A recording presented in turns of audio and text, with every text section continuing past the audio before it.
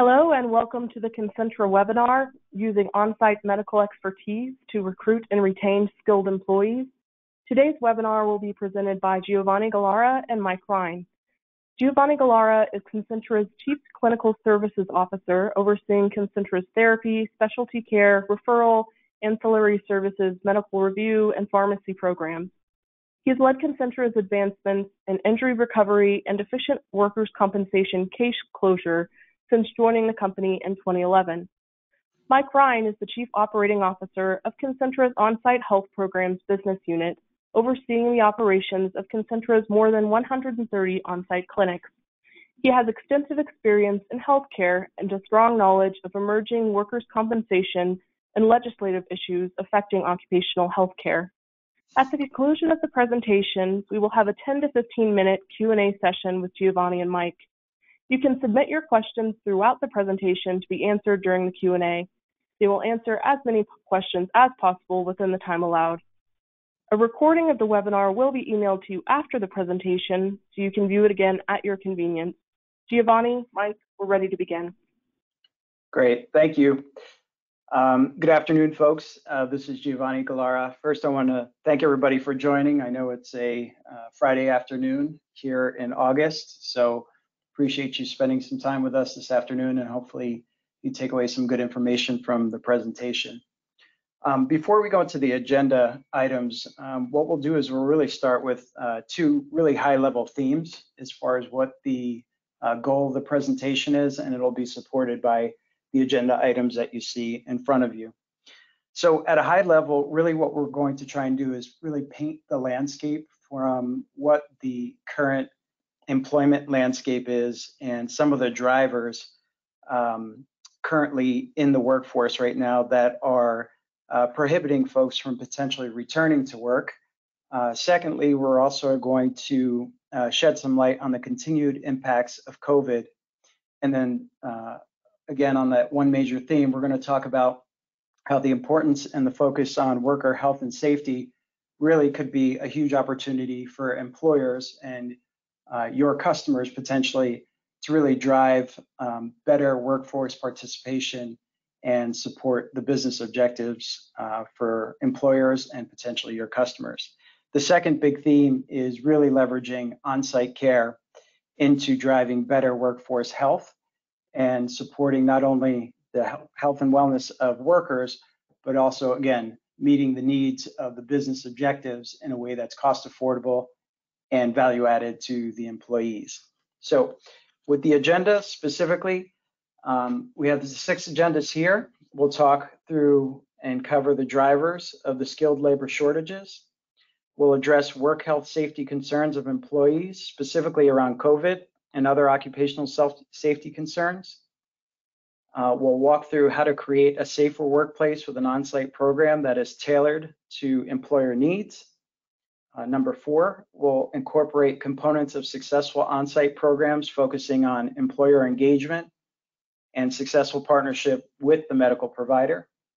Number five, how to make an on-site medical support um, affordable. And then number six, we'll paint a compelling business case for the use of on-site care. And then we'll follow up with some question and answer. So next slide. So next, I will uh, set the stage and provide some background of the current employment landscape.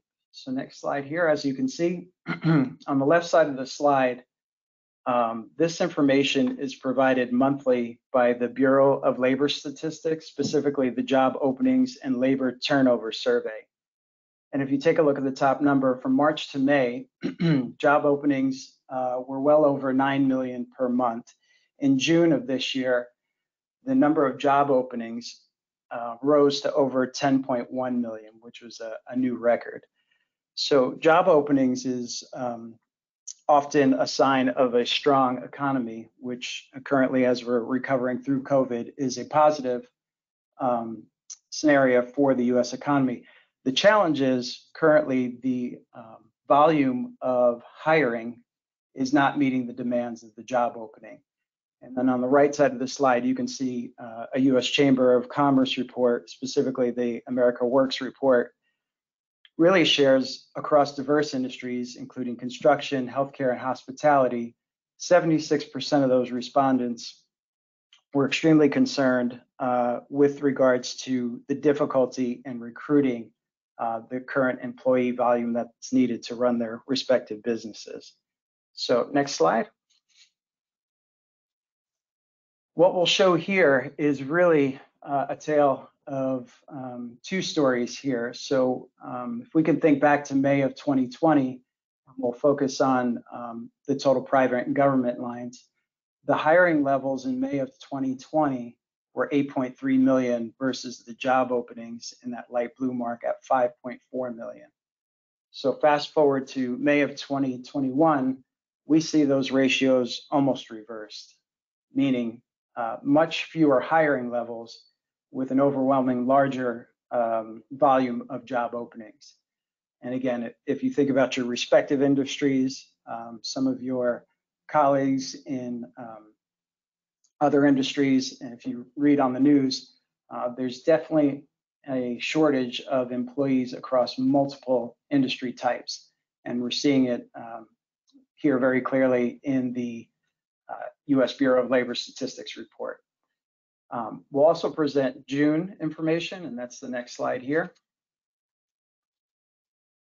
And again, very similar. The ratios have gotten slightly better in June, but you can see uh, in reference to that 10.1 million uh, job opening number compared to that 6.7 uh, million hiring level. So again, uh, the race for skilled employees is definitely out there.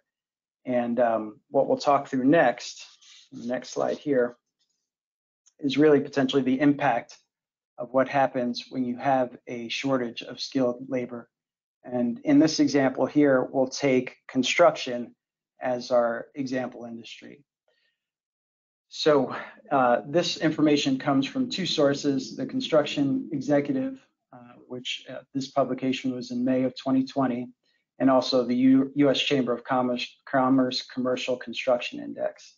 So the key takeaways here 80% of polled contractors were highly concerned with job site safety due to the lack of skilled employees. I think the second uh, bullet here is really important, and this comes out of the US Chamber of Com Com uh, Commerce, that nearly 35% of new untrained employees in construction are injured in their first year. So from a uh, workers' comp, occupational health, employer, claims professional. Um, that is some pretty stunning um, statistics there when you think about uh, the potential impact to our patients, our customers, and employees. Um, so, and then the third component here, the big takeaway here is there is absolutely business impact to the lack of skilled employees in the work in the workforce and specifically, uh, in addition to the heightened safety risk and potential claims costs, but there's also inefficiencies in business objectives and um, business management as well, without having the right folks in the right place um, currently in the workforce. So next slide.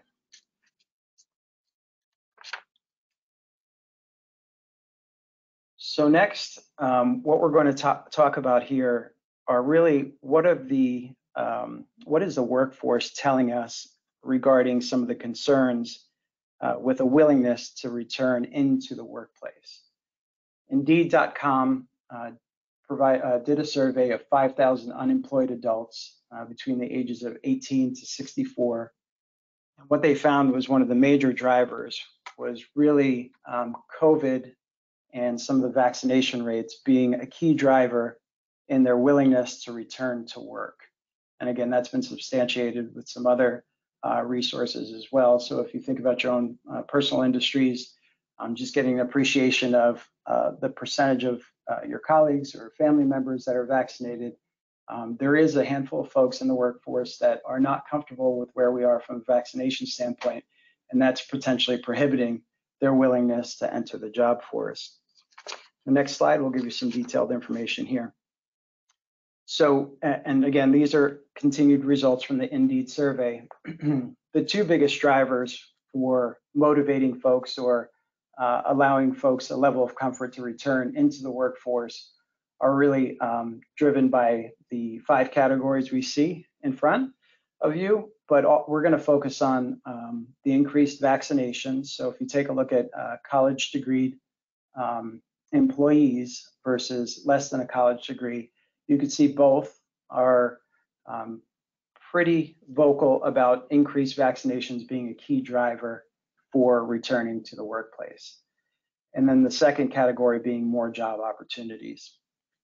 So again, uh, thinking about our employers out there, um, the willingness to improve vaccination rates is going to be a, a key component of getting folks comfortable with returning into the workplace. The next slide here. There is a potential dilemma, however, if you take a look at, and we have uh, four different resources here. Uh, there is a percentage of the workforce uh, that has been poll uh, that's reporting throughout these polls, uh, ranging from 14 to 25 percent of American adults say they're not willing to get vaccinated. So again, that could create some potential challenges uh, for those folks in the workforce that are waiting for higher levels of vaccination, where their um, peers or community members, uh, ranging from 14 to 25 percent, will say they will never get vaccinated, and that's for various reasons. So the next slide. So where does occupational health support come in here?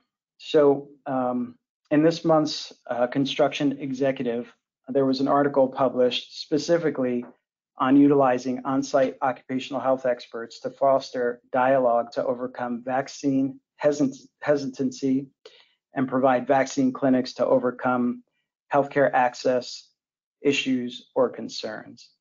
So again, um, when you think about uh, a potential workforce, whether it's for your own employees or potentially a customer that you serve, um, partnering with the right occupational health provider to provide education and also access to vaccine uh, could be a huge windfall to A, increase the um, health and safety at the work site, but also to demonstrate a willingness to potential employees that um, the safety and concern of incoming um, employees is uh, paramount.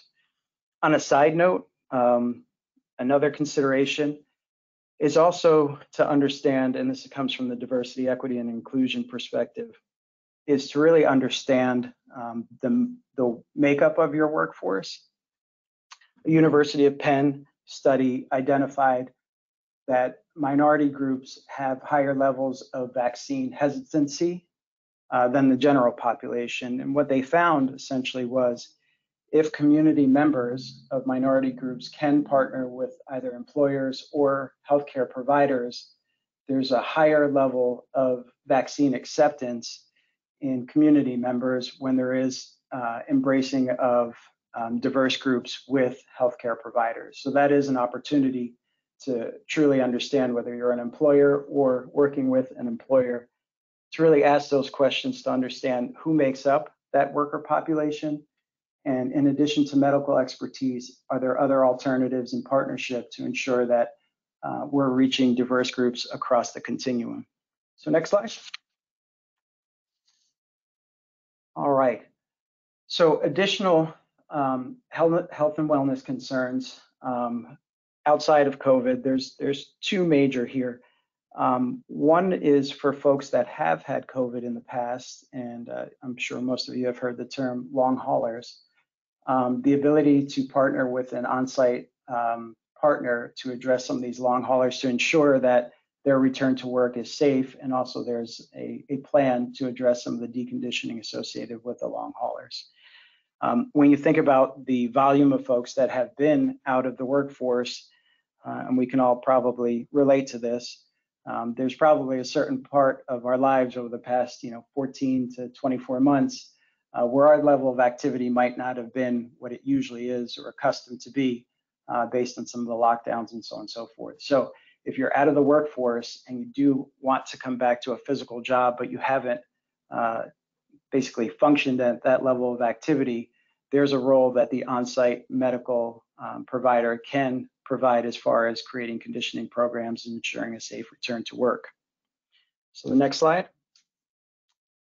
And before I hand it off to Mike, really um, the goal here was to pro- provide a little bit of background, and um, really what Mike is going to present here is how the on-site medical clinics can really uh, address some of the concerns. How can they be a solution for some of the hesitancy, a willingness to return to the work site, and then potentially uh, what that looks like from a specificity standpoint. So, um, how do you tailor an on-site to really meet the goals of uh, an employer from a business objectives, but also the specific employee base that they're looking to recruit and retain.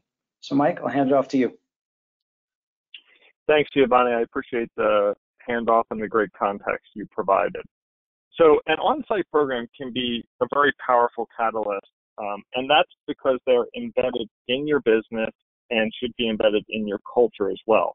It demonstrates that the employee health is a top priority of the business Employees and job seekers who know their health and safety will be supported in this way are likely to regard your company more positively than others at the time at this time due to virus fear, but you know, we're also seeing with virus fear, it's not just virus fear, folks are uh, COVID-19 has spurred folks to put their health and safety in much higher regard, and, and that's a trend we expect to see continue. Uh, next slide.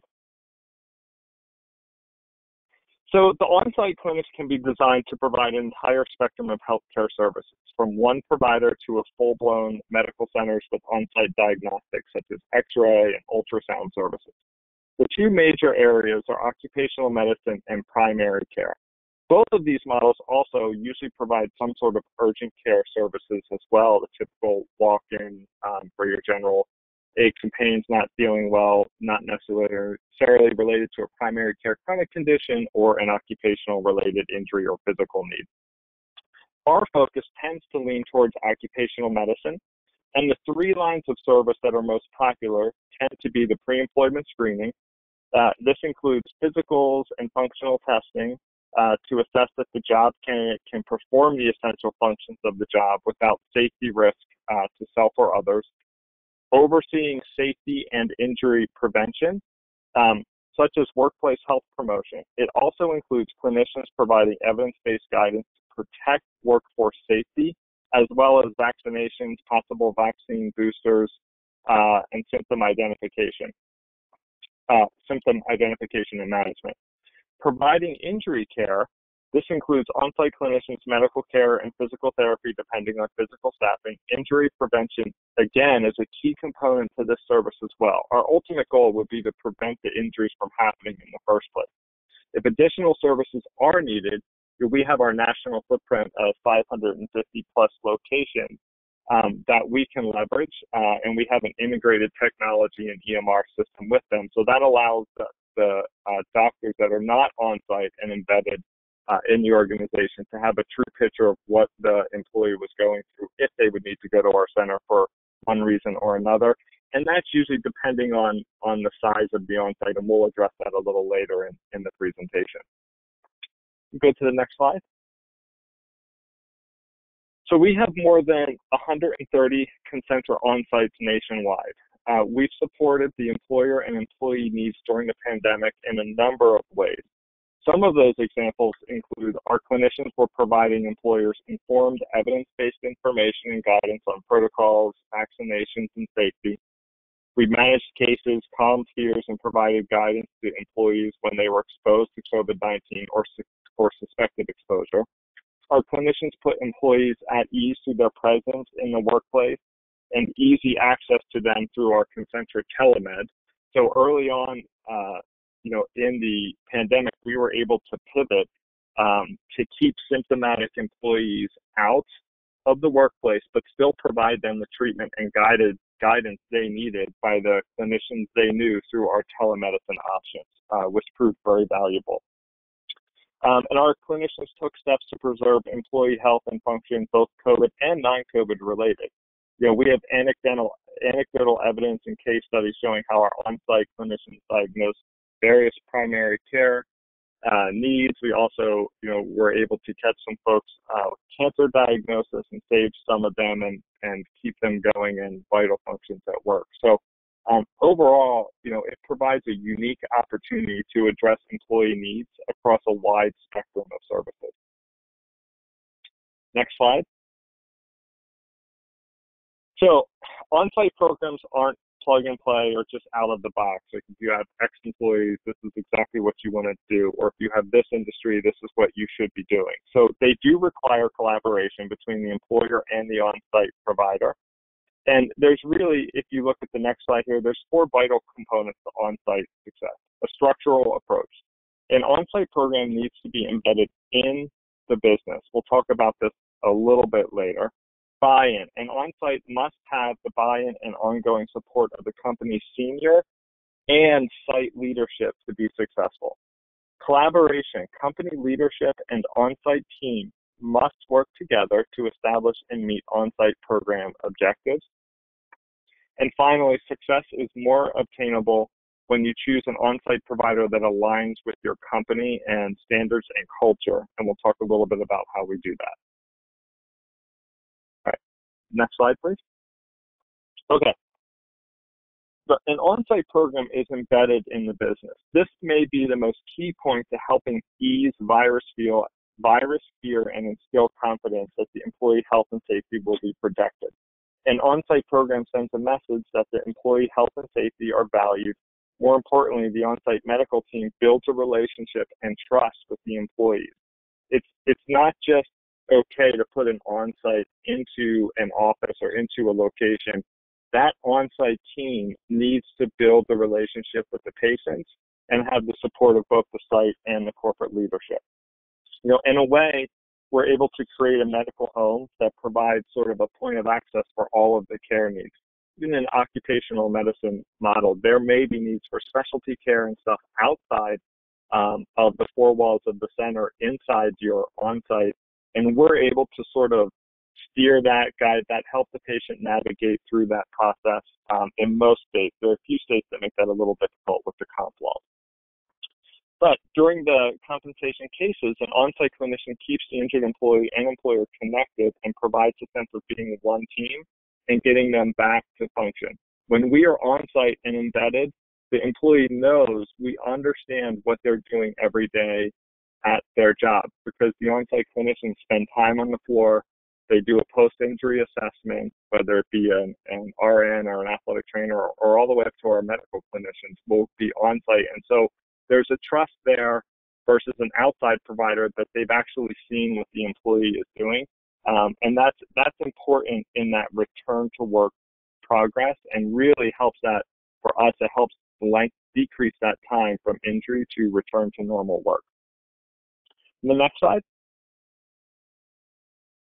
So executive leadership is eager for consistent, ongoing medical guidance. We've seen uh, we've seen with the rise of the Delta variant and potentially other variants, real-time, accurate health information and guidance are highly valued, and very likely will be for some time to come.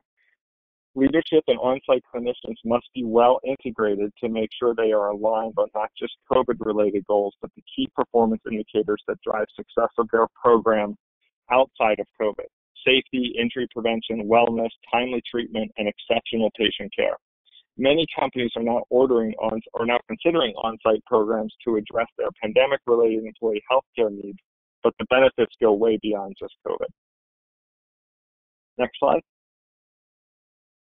So why is collaboration with leadership so important? Working together and communicating effectively promotes the employee engagement and utilization of the on-site clinic to be successful. Both teams have to work together to drive the utilization of the on-site center. Building value through buy-in, participation, alignment, and support of all parties can help meet goals, show concern for employees, and help calm not only virus fears, but general health and workplace medical needs. Next slide. Finally, an on-site should align well with the company's standards and culture. At Concentra, we do this in several ways. From a clearly outlined and collaborated scope of work prior to launching an, on-site, we also provide cultural fit interviews for all of our on-site colleagues. Uh, and then we follow that up after implementation with quarterly stewardship reviews and as needed meetings to go ahead and make sure we are truly meeting the objectives. Obviously, this happens more frequently in times of crisis like we've experienced uh, in the last year and a half.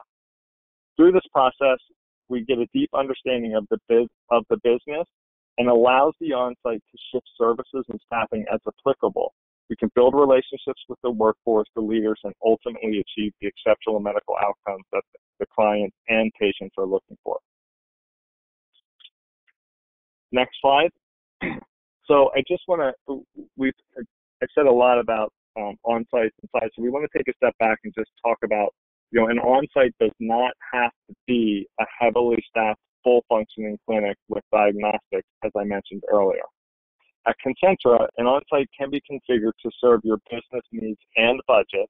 There are many options in size, services, and staffing, ranging from a single on-site nurse, APC, or even just a medical director, to that full service clinic I mentioned. One very popular option is the athletic trainer led on site program, with the athletic trainer filling multiple roles such as promoting musculoskeletal health through exercise programs, injury prevention and ergonomics, providing injury treatment when appropriate using the knowledge of first aid to help avoid an OSHA recordable.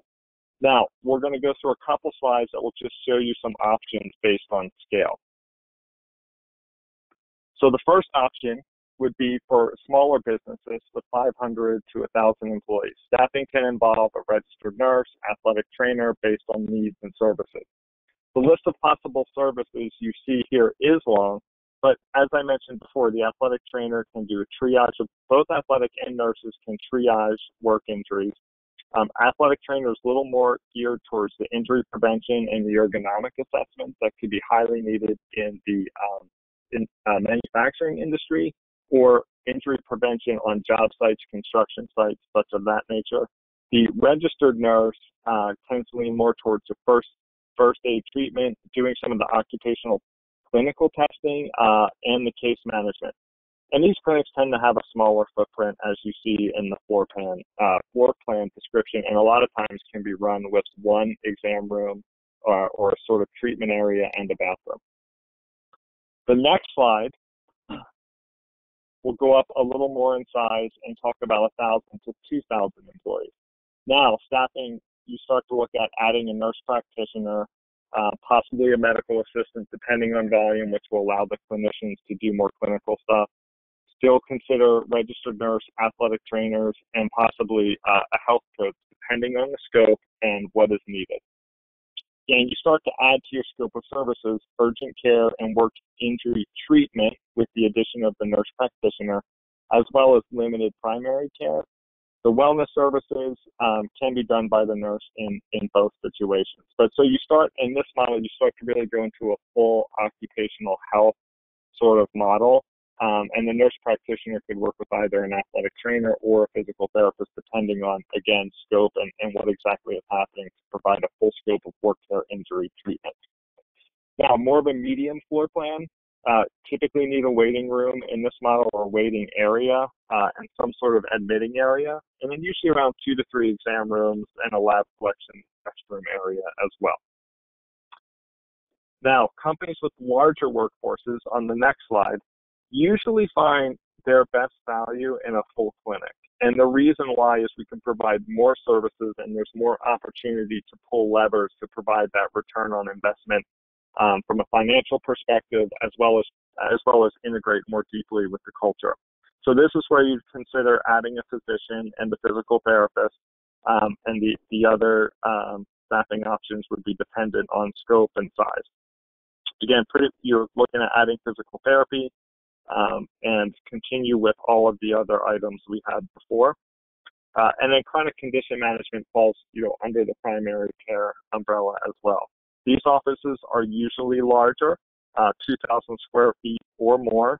Uh, again, a waiting room, front desk, three to four exam rooms. And when you start to have a, an employer of this side, you start to look at the hours. Um, and you may have a clinician there for a set block of hours, but then you'll have like a nurse and the athletic trainer may cover additional hours to give you more than a, a eight to five or nine to five sort of coverage. And we start looking at the evenings and weekends, and we do that in the smaller models as well. Uh, but depending on when the populations are coming through and how do we touch the most employees, um, I think that's that's really again goes to that scope of work meeting we have at the beginning and working with senior leadership as well as site leadership to really set the goal for the uh, on-site itself. You go to the next slide. So as Giovanni, as, as Giovanni mentioned, job seekers and the skilled labor you need are wary of returning to workplace as COVID-19 and Delta variants rise. All indications are that this will also go beyond COVID-19, and the expectation of job seekers has shifted to a, a more of a health focus. Occupational health experts are uniquely equipped to support you with evidence-based medical knowledge to overcome virus fear, build confidence, and that the, and demonstrate that the employer is committed to the employee health and safety. We're also there to help with vaccination, um, as well as the uh, testing options for the for the vaccine hesitant where that is an option. You with more than 30 years of experience providing on-site care and our 40 years of occupational health experience, Concentra knows what it takes to achieve an on-site program success and how to work with you to make it happen. We offer multiple programs and configurations to meet your needs, and our on-site programs have demonstrated throughout the pandemic how our clinicians were able to ease employee fears, raise their confidence about being at work, and enable them to be focused on work and be productive.